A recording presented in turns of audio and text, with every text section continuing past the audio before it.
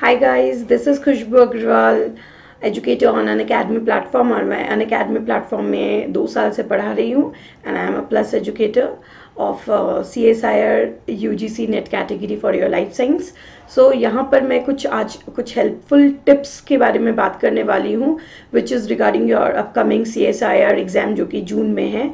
तो हम लोग मैं आज एक एक ऐसे टिप के बारे में डिस्कस करूँगी which is a very very important जो most of the student face करते हैं problem is in section C जो कि किंग मेकर है हमारे।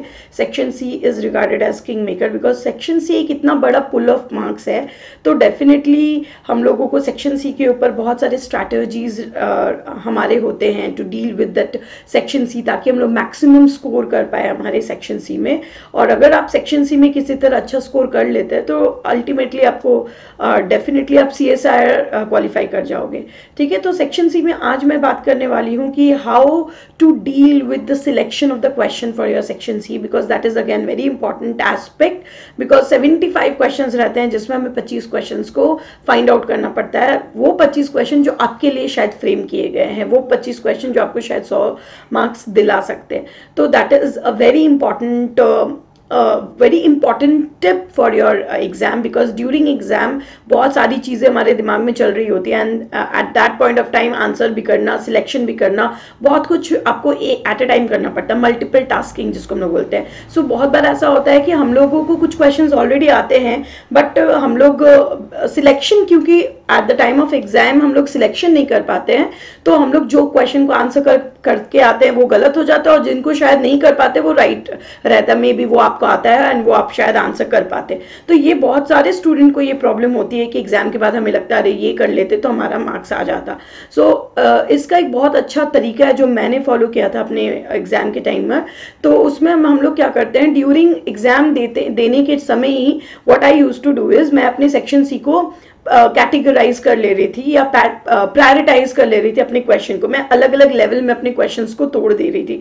कैसे कर रहे थे? जब हम लोग आप क्वेश्चन सेक्शन सी बनाना शुरू करते हैं उसी समय अभी तो क्योंकि आपके पास सीबीटी uh, मोड है तो आपके पास right hand side of the screen में सारे डिटेल रहते हैं कि आपने कितने क्वेश्चन अटेम्प्ट किए and everything all all those thing तो आप जब सेक्शन सी बनाना शुरू कर रहे हैं तो व्हाट यू डू इज़ ऐसे क्वेश्चन के लिए, जिसके लिए आप 200 परसेंट श्योर है, आपको पता है कि यही आंसर है, आपको कोई डाउट नहीं है, उसको आप आंसर मार्क कर दीजिए तो वो आपकी ग्रीन में शो करता है दैट आंसर मार्क्ड वाले में आता है, ठीक है? तो वो आप करते चाहिए अब कुछ ऐसे क्वेश्चन आएँगे, जिसके लिए आपको शायद डाउट होगा तो वो आप मार्क फॉर रिव्यू रखना चाहेंगे।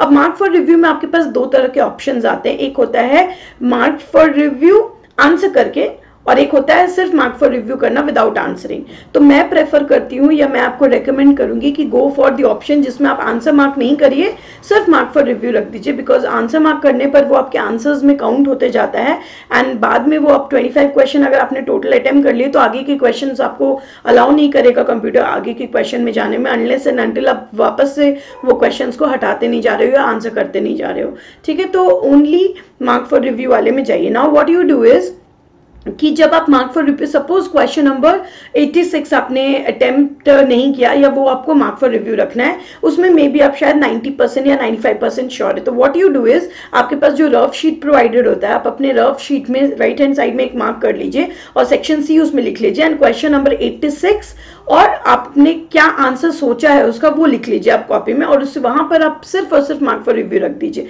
एंड अगर आप उस क्वेश्चन के लिए शायद 90 या 95 परसेंट श्योर है तो उसमें एक टिक लगा दीजिए। अब इससे इसका क्या मतलब है कि उस क्वेश्चन को आप पहले रेफर करना चाहेंगे जब आपका कंप्लीट हो जाएगा देखना। फिर आप जैसे जैसे आगे बढ़े सपोज़ मान लीजिए क्वेश्चन नंबर 93 आया। अगेन क्वेश्चन नंबर 93 आपको मार्क फॉर रिव्यू रखना है, इसका आपको आंसर शायद नहीं पता उतना अच्छे से। तो अगेन आप वहाँ पे क्वेश्चन नंबर 93 लिख लीजिए। अब आपको लग रहा है क्वेश्चन नंबर 93 में शायद आप 80 परसेंट ही श्योर है। उससे कम मतलब 86 में जितना श्योर थे, उससे कम श्योर 93 में है।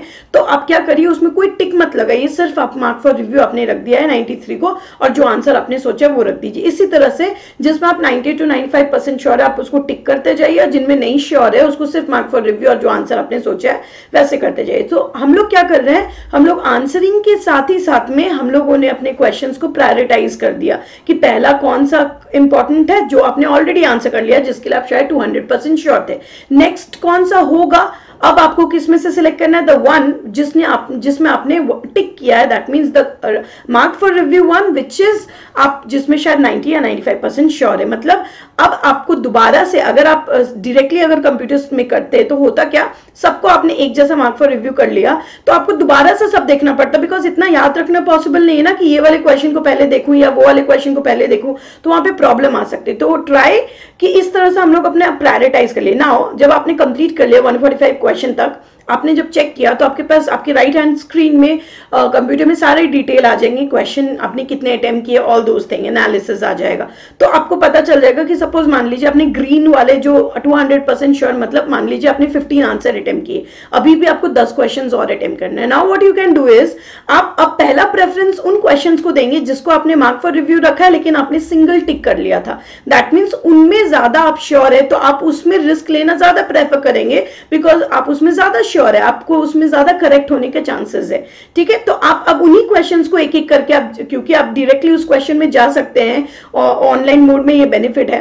आप डायरेक्टली उस क्वेश्चन में क्लिक करेंगे, आपके पास आ जाएगा ना, आपने क्या आंसर सोचा था वो आपने ऑलरेडी लिख लिया है। तो आपको ज़्यादा अब उसमें सोचना नहीं है, बस एक बार आप एनालाइज करेंगे एंड आप आंसर करेंगे, जिसको जैसा आंसर करते जाना है। अब मान लीजिए कि उसमें से भी आपने शायद 23 क्वेश्चन मतलब 23 टोटल हो गया है। अभी भी आपके पास दो क्वेश्चन या एक क्वेश्चन शायद बचा है अगर। अब आप क्या, कहा जाओगे? अब आप जाओगे उन क्वेश्चंस में जिसके लिए शायद आप 80 परसेंट श्योर थे। तो अब आप उन क्वेश्चंस के लिए जाओगे, उनमें सिलेक्शन करेंगे और उनको सिलेक्शन के लिए जाओगे, अब उनमें से आपको निकालना है।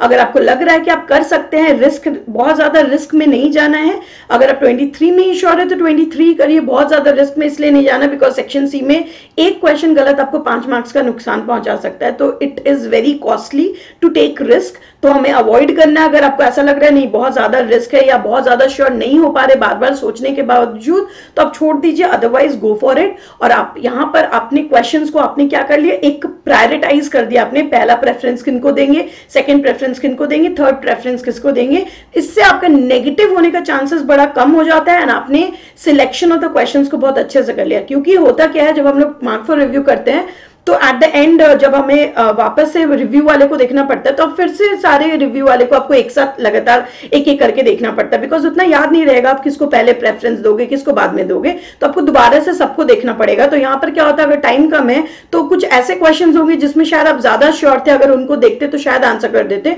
तो वो शायद छूट सकता है हड़बड़ी में आपके पास जो पहले रिव्यू वाले आएँगे आप उनको आंसर करना प्रेफर करोगे।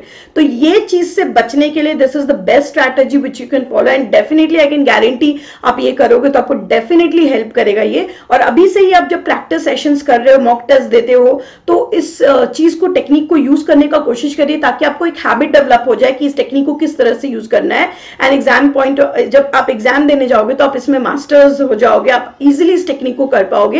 एंड यू विल सी कि आपके टाइम सेवर का भी काम करता है, बहुत समय बचता है। एंड आप पैनिक नहीं करोगे, आप इजिली आराम से जा पाओगे एक एक क्वेश्चन को देखते हुए। एंड साथ ही साथ में आप अपने क्वेश्चन को कैटेगराइज प्रायोरिटाइज करते जाओगे। सो आई होप ये टिप आपको डेफिनेटली हेल्प करेगा and all the very best for your upcoming exam thank you guys bye take care